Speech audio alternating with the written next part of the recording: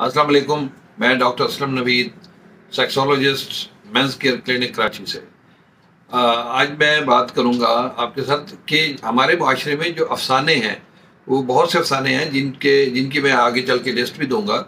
तो आ, मैं सिर्फ़ ये बताऊँगा कि जब तक वो अफसाने क्लियर नहीं होंगे आपके प्रॉब्लम अपनी जगह मौजूद रहेंगे। बेशक दवाएँ खाते रहें जो बेस है वो आपके मौजूद रहेगी तो फिर वो उसकी मर्ज भी मौजूद रहेगी। आर्जी तौर पर ज़रूर दवाइयों से मुख्तलिफ़ फ़ायदा हो जाएगा।